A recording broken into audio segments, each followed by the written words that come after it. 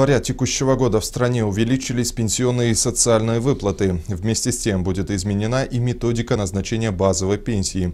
Если сегодня пенсионную выплату все получают одинаково, то уже с 1 июля она будет начисляться в зависимости от трудового стажа.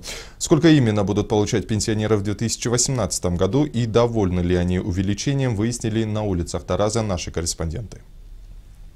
В соответствии с поручением главы государства с 1 января этого года солидарная или, как называют сами пенсионеры, трудовая пенсия будет повышена на 8%, а базовая пенсия в стране увеличится на 6%. Получается, что минимальный размер выплаты с учетом базовой пенсии в этом году составит 49 тысяч 19 тенге. Кроме того, адресная социальная помощь в стране будет оказываться в новом формате. Она будет предоставляться всем семьям, у которых доход на каждого члена семьи в пределах 40% от прожиточного минимума. В целом, социальные выплаты подлежат увеличению на 16%.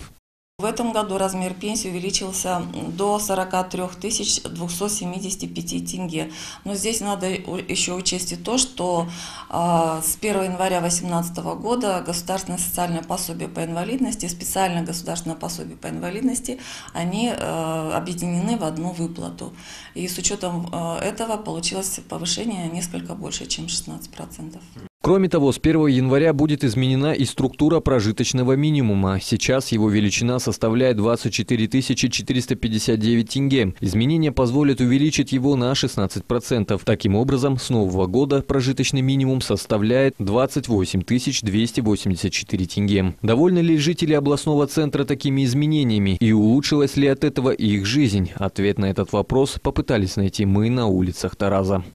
Ну, цены. большой радости-то нет, потому что цены на продукты все поднялись. Они растут как на дрожжах. Что ж это?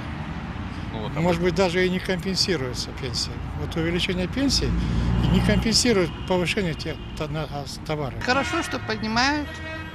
Слава богу. Цены-то кусаются. На базаре все дорого. Поэтому и так пенсии не хватает.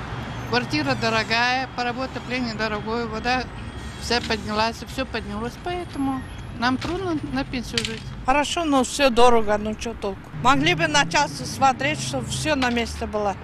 Что это такое? Три тысячи давает, все дорого. Не, не хорошо это. Зарплату-то нам не повышают, а цены повышают. Плохо это. А пенсию что повышают, то это хорошо.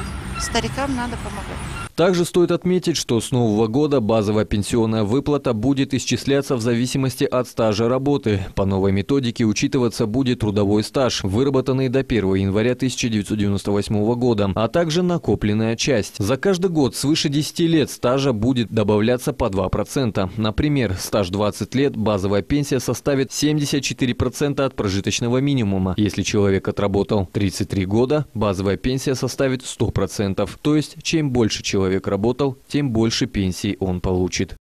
Валерий Татаренков, Шингисхан Кинисхан, 77 News.